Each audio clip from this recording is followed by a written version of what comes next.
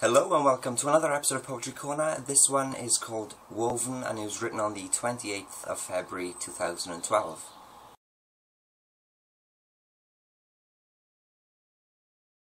In fields we lay where blossoms prevail, the cyan skies with white plumes await. Grassy blades caress our supple skin as we listen to the whispering wind.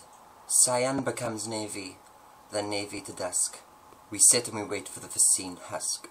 It's a solemn plight down a forsaken path, waiting for the tempest's wrath. The winds whisper once more to steady our hand. They sing a tale of this soon-to-be barren land. Little can be done against fate's decision. The tapestry is weaved with unfaltering precision. All we can do is wait and pray that this night shall bore another day. But if it does not, do not be afraid, humanity's debt needs to be paid.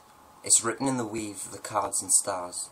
The price cannot be pardoned or left ajar.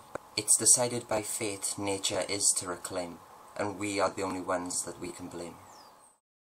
So yeah, that poem was written, as you can probably tell by the ending, more specifically, about some kind of end of the world kind of thing.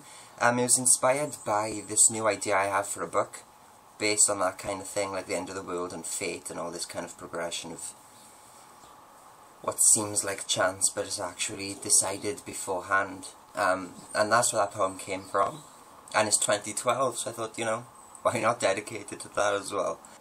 So yeah how do you feel about the poem? How can you apply it to your life? Let me know in the comments below and I shall see you the next episode of Poetry Corner which is a poem based on your decision actually. To decide for the next poem for Poetry Corner you just need to leave a comment below of one of the following three titles.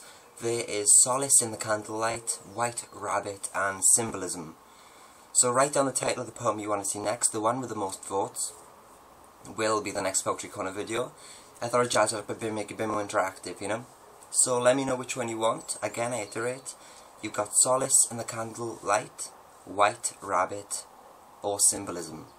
Write it down there and I shall tab through them all.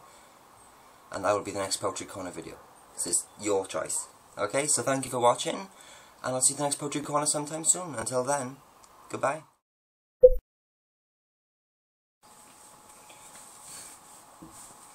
Sort out this shit, make sure I look presentable, you know? Okay.